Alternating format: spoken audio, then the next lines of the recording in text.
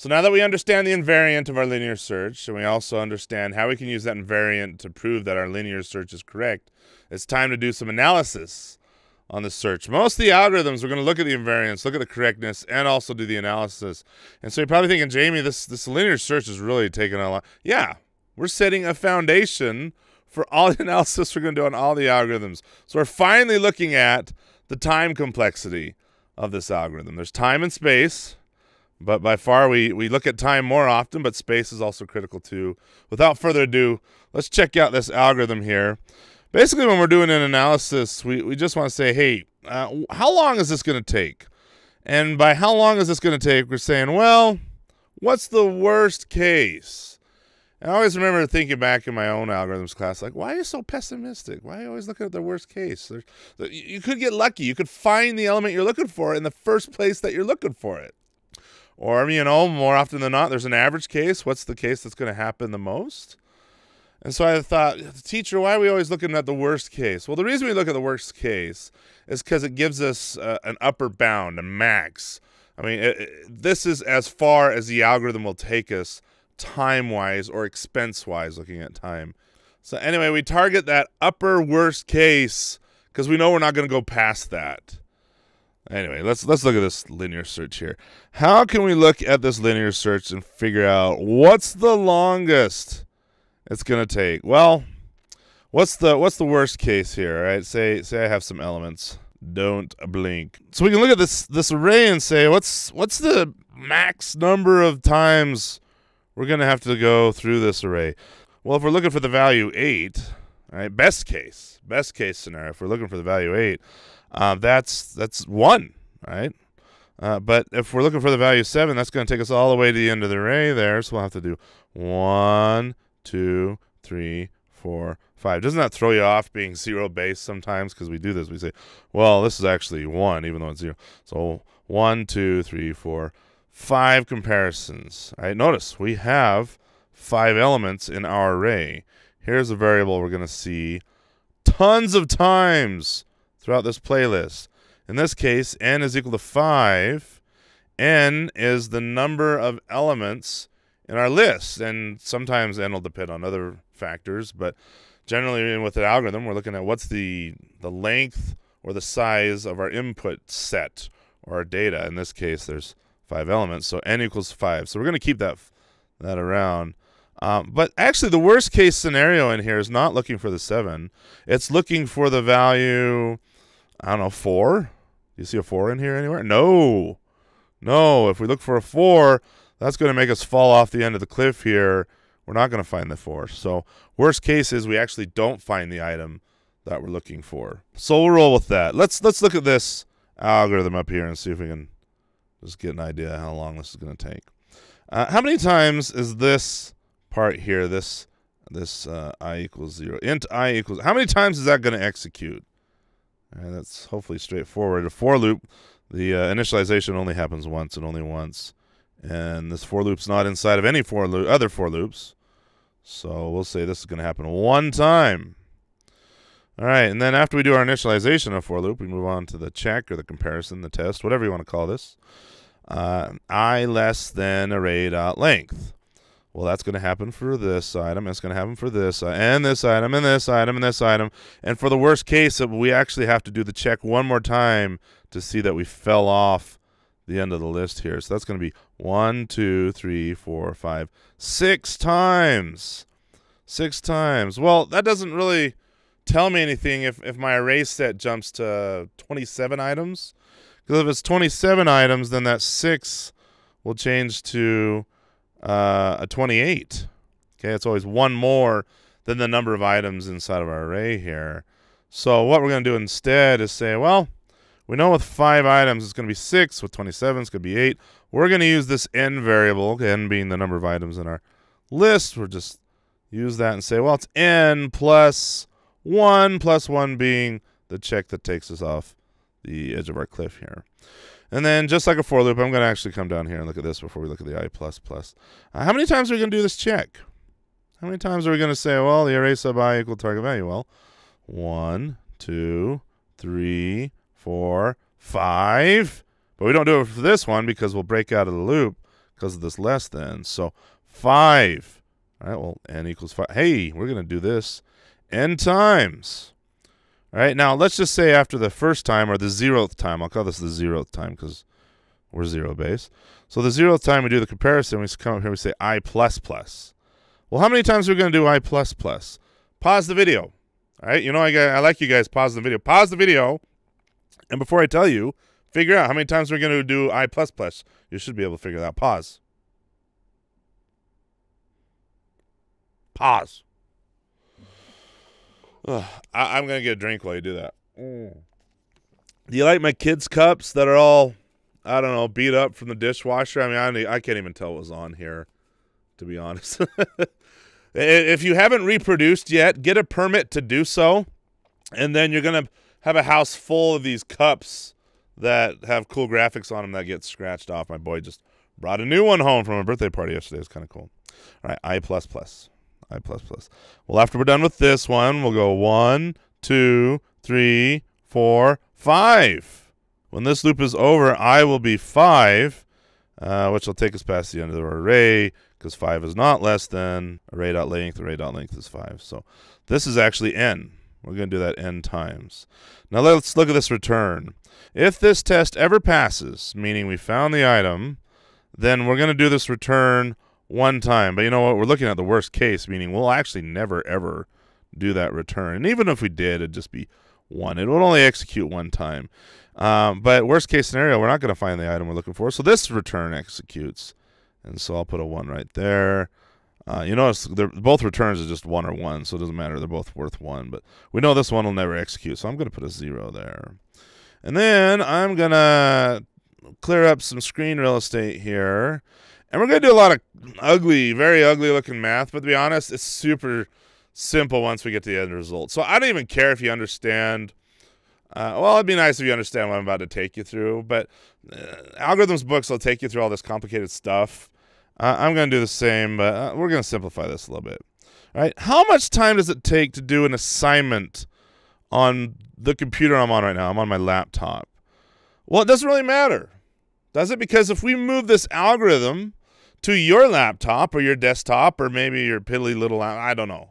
All right, moving this algorithm to a different computer doesn't make my algorithm more efficient. All right, I actually worked for a place that they were like, oh, uh, they literally told me this, Jamie, you can write the worst code that you want to. I'll just check more hardware at it. No. I, I, my government works that way. Oh, just keep chucking money at the problem, money we don't even have. really? It's okay for me to write wasteful code because I have better hardware. I mean, if you look at consoles like Xbox 360 or the new Xbox One, the Wii or the Wii U, I like to look at the older consoles because, man, those guys make screaming awesome, very complex games on those weak little consoles. If you understood how weak the Wii is, compared to the Wii U or the Xbox 360. But even the Xbox 360, yeah, it's got a little bit of power in there, but not compared to the Xbox One. But the games still look good. And the reason they look good is because there's passionate engineers that use up every ounce of power they can out of those machines. They squeeze so much. They're so efficient. I wish those engineers worked in my government because then our taxes would be lower and our output would be higher. All right, don't don't tell me that I have more hardware. You can buy me more hardware, so waste all that. No, no, that's okay. Sorry, I rant, but that's just stupid. Okay, um, so it's it, this assignment could take thirty seconds on my computer. All right, I, I could talk about milliseconds, nanoseconds, clock ticks. Um, and, and, believe me, yes, my computer is much faster than 30 seconds for this assignment. Otherwise, I'd be returning this computer. Um, but, you know, just for tickles, just for our sanity, we could say, well, this takes two seconds, right, this assignment here. Because, you know, we're humans and seconds seem to make more sense than microseconds, nanoseconds, um, milliseconds. Uh, the less than, how long does the less than take? Well, we'll say that takes one second. And the plus plus, well, we'll say that's 1.5 seconds. And the equal equal, we'll say that's also one second as well. I'm trying to draw S's, but my tablet's not working out very well. But I don't really want to keep track of these S's and 1.5 here, 2 there, so so on and so forth. So we'll just say, you know what, this this takes some amount of time. All right, we'll call it T1. But T kind of is variable there. So so what we'll see in, in our algorithm text is constant time of one. It's, it's it could be one second, two seconds. I, it's it's some unchanging amount. That's why we call it constant time. We'll call it constant one because there's several constants here. I mean, one second was different from two seconds. So we'll call this, well, this is a constant amount of time two. And this will be constant amount of time three, like so. And then I know this one was equal to that one, but, you know, maybe on your computer an equal sign takes longer than less than, so they won't always be equal. So we'll say, well, the equal equal, that takes a constant amount of time four. All right, so let's let's lay all this out. I I got um let's see, one times constant one will be constant one. We need to add that to constant two times n plus one. And then we got n times constant three, which we could really write constant three times n just to be consistent. We'll keep our constants on the left. Plus constant 4 times n plus 1 for our return there. I'll put a plus 1 at the end there. Okay, cool. I'm going to erase this array down here so we got some room to work. So first things first, let me distribute this this constant 2 times n and n plus 1. I'm just going to erase that. And by distribute, I mean c2 times n, c2 uh, times 1. So that'll be c2 times n plus c2 times 1 will just be c2 Let's group all the terms together. So I'm going to group all these n's together, all these constants. We'll throw the 1 out at the end there. So we're going to do C2 times n. That takes care of that. Plus C3 times n. Takes care of that. Plus C4 times n. C4 times n. Takes care of that. Then we got C1, C2, and 1. So plus C1 plus C2 plus 1. And then let's factor out all these n's. All right, we, we can factor them.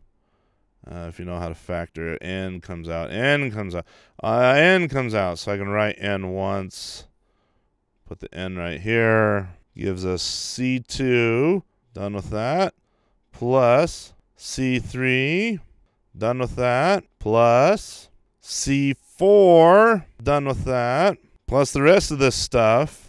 And we're done with all that. So there you go. Whew. Whew. I remember the first time I saw similar math in an algorithms text. And I was like, wow, this analysis stuff is going to take a PhD. And to be honest, the people that write the algorithms text, they're so mathematical. They're so laser accurate. I just they're awesome. But it, it's way more complicated than it needs to be. This looks complex, but to be honest, we're just looking for the order of this equation. Let's use layman words here. What's the dominating uh, term in here? Okay, let's. What's going to control this entire function? Right, it's actually pretty straightforward. First of all, if I gave you a million dollars and all this right here up to the one. All this could be like a million dollars. You run you run a hundred miles, all times I buy a bunch of stuff, and out pops a million million dollars. Or hey, you know, you run a thousand miles, then I'll give you a billion dollars because we're multiplying and adding all this stuff. Here. This here is, is kind of what controls the function. If if I if I say, well, I'm going to leave out that one dollar, but I'm going to give you a million dollars. Do you really care about this one dollar here? No, you don't. You're like, yeah, keep your dollar. All right, so I guess what color should I use? I'm running out of colors. I hate to use green to X things out, but okay. You don't care about this one dollar. Well, if I drop off these constants on the end here, say these constants add up to 100 bucks. All right, we'll just we'll put some actual numbers here. Say these constants here added up to $100. And these constants here, let's say they added up to $10. Okay, that's less than 100, but I'm taking the 10 and I'm multiplying it to the number of miles you run. So you run a thousand miles, that's going to give you ten thousand dollars. All right, well, no, that's not a bad setup. Okay, even though this ten is less than the hundred, ten thousand dominates the hundred. Hey, you want to run 2,000 miles? Well, that's cool. We'll just double this. So you get $20,000. All right. These constants are what's helping out your running because this is just gravy on the end. Oh, you get an extra 100 bucks. Well, after you get your $20,000, yeah, you want the $100, but if I say, you know what, I'm not down with that part of the deal, I'm just going to drop it because this part of the equation is not growing with the amount of miles that you're running. So we actually just throw this off. We ignore it. It's not even there. We did all this math with all this stuff, and that stuff doesn't even exist because it's dead to us, right? They're constants. They don't change with the number of values in the list. Right? Throw it away. Chump change. We don't need that. Okay. Well, let's let's negotiate a little bit here. Let's say ten dollars. Well, maybe you, you know what, Jamie? I, I want you to do hundred dollars. Maybe these will add up to hundred dollars. Let's let's add it up to two hundred dollars. Okay, we can negotiate all day long about what these constants add up to. And in the end, I say, you know, yeah, okay, yeah, these constants adding up to a bigger value is going to benefit you. I'll give you that.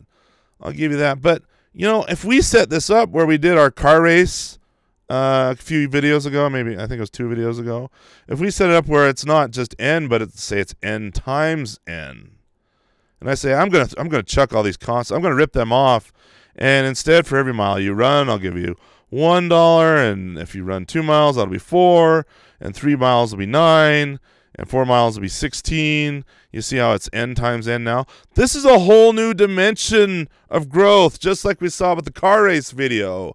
So really at that point these constants aren't even worth fighting over. What you really should be fighting for is a higher order of growth. I'm going to use that word order a lot. Not going to get into the details too much in this video but probably next video or video after that uh, depending. We'll, we'll, talk about the order but I, I just want to cue you in here that you shouldn't be negotiating over the size of these constants. You should be negotiating over the order of our function here. Because if you can negotiate me to n times n, that's going to dominate the n. Remember our earlier video? I just totally dominated you. That's how we actually look at these algorithms, is the long-term growth.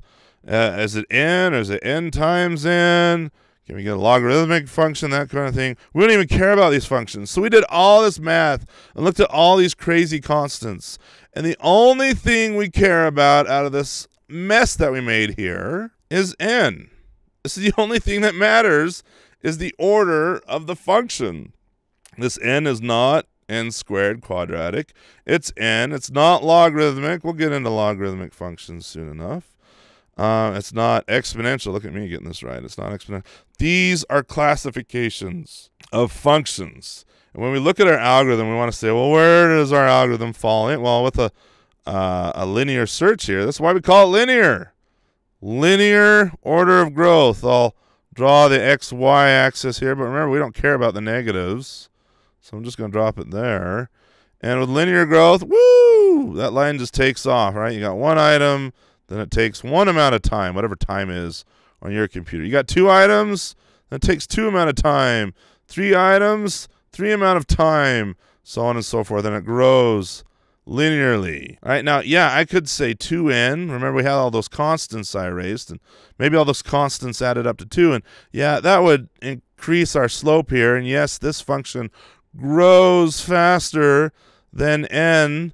But as far as the order of the function, the order is an exponent of 1 right here. Right? This is really end of the 1. Oh, not end of the n. End of the 1.